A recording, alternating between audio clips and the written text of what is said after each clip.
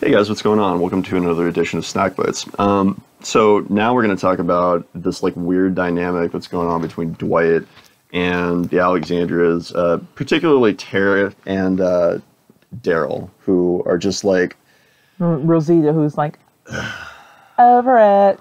God, It's like kind of the face she makes. they're all like really irritating me, particularly Tara. Like Tara, I just I don't know what the hell's going on with her. I understand that she's mad about Denise and all that stuff, but like she is way putting everybody at risk with Well, all I mean, crap. there's a time for everything. They're trapped in the swamp. They're trying to avoid the saviors. There's walkers everywhere.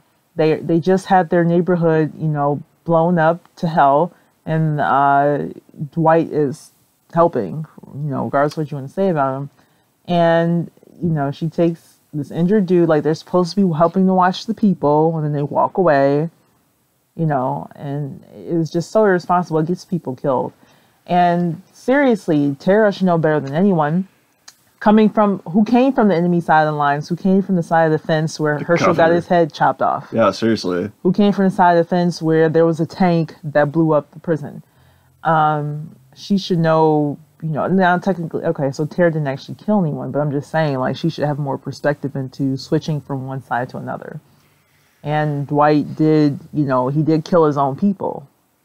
Well, she's also doing this thing that a lot of people have been doing this season, which is just like blatantly deviating from the plan.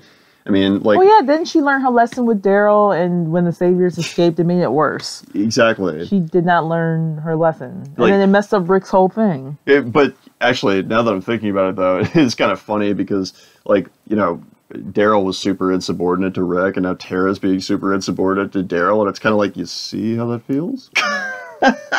Yeah, see what well, happens when we don't go with the plan? It, it doesn't work out so well. He got pissed at Tara. Oh my god, he was like up in her face, screaming at her, um, which I think she deserved because He, he started yelling about Dwight, but we all know he was still really angry at her. Dwight he didn't do anything. And that's what I'm saying. He wasn't really angry at Dwight. He was angry at Tara for going off script. Yeah, that was totally her fault. Um, I, I mean, I don't know like what she thought was going to happen. Like she thought that she was just going to like lead him out away from the group, assassinate him, and She and thought just she was going to pull a. Shane.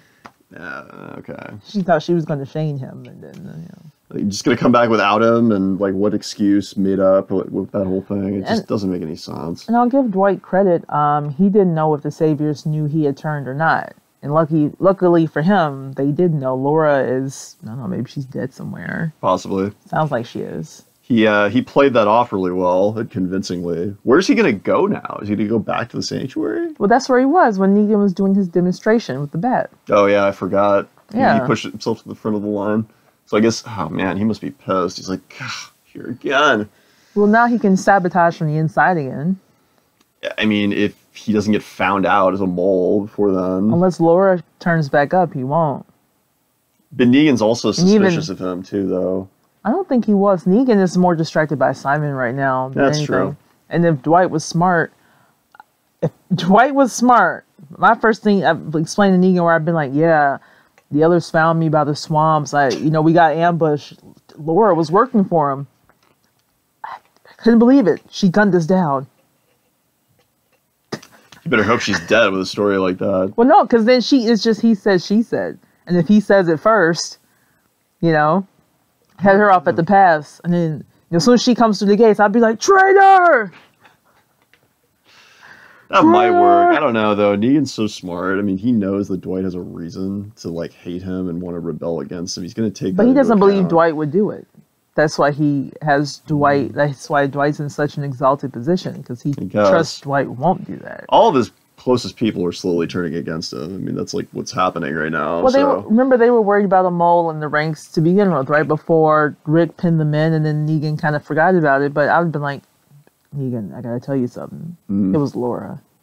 She was working on the inside. She turned the gun on us, man. That's how I got shot.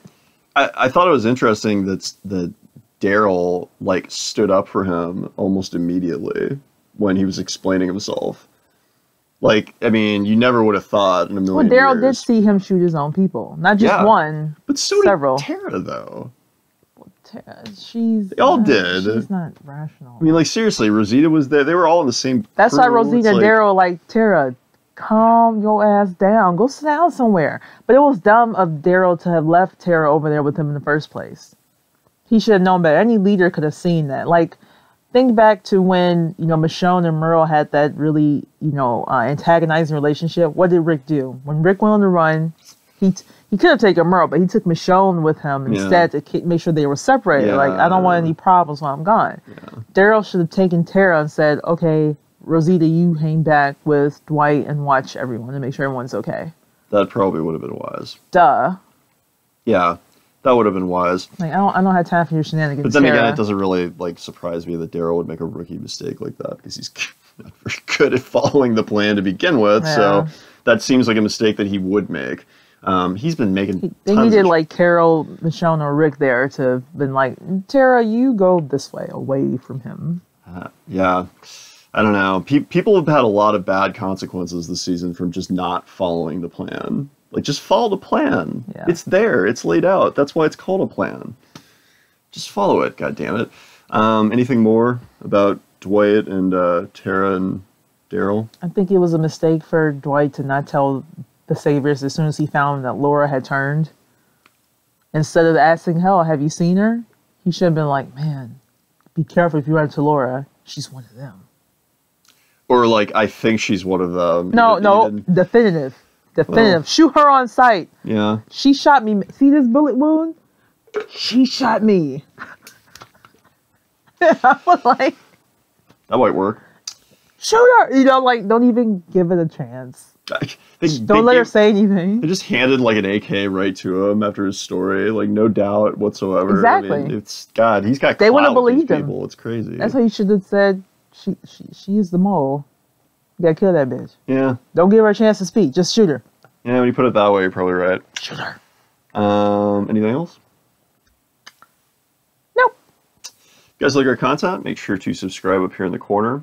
Also follow us on Instagram at RL, RL Richonne, sorry, on Twitter at Living Richonne, and check out the website, thelivingrichonne.com. Thanks so much for watching. We'll talk to you next time. Bye bye.